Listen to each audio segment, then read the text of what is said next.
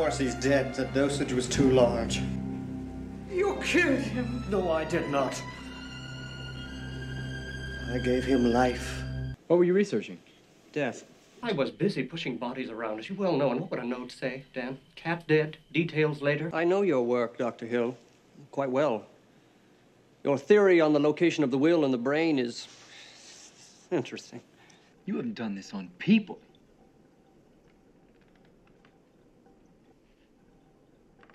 Meatball?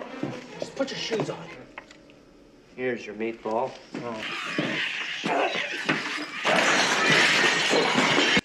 You see, I came down here to visit um, Mr. Cain, who was here working, and Halsey entered and started ranting at us, rather irrationally.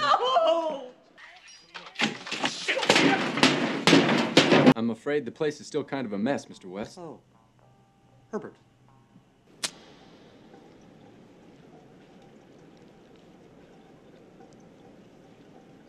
Dear deluded little daddy.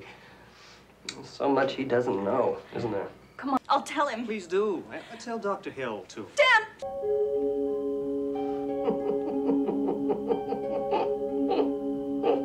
Do you agree that he's dead now? This is not magic, as you say. I am a scientist. There's only one kind of proof that he'll accept, that he'll have to accept. No, no, Herbert, we can't do that. Oh, yes. We can.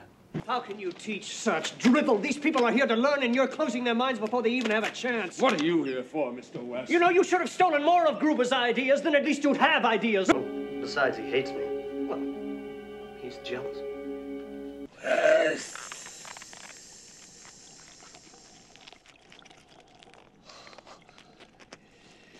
Yes, Doctor. It's Herbert West. Unbreakable plastic. One of man's few durable inventions. I told you I have a theory! Overdose! No!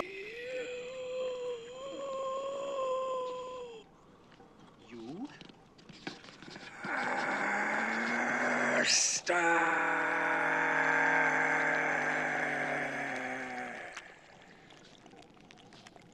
I had to kill him!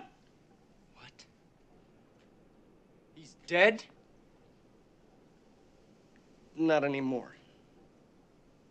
No. Herbert! I'm very disappointed in you.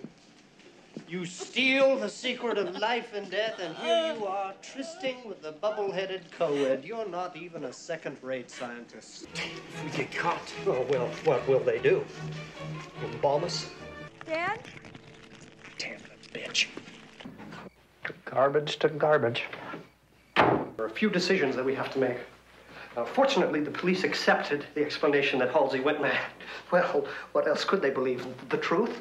That he died and came back? We did it! You'll never get credit for my discovery. Who's going to believe a talking head? Get a job in a sideshow.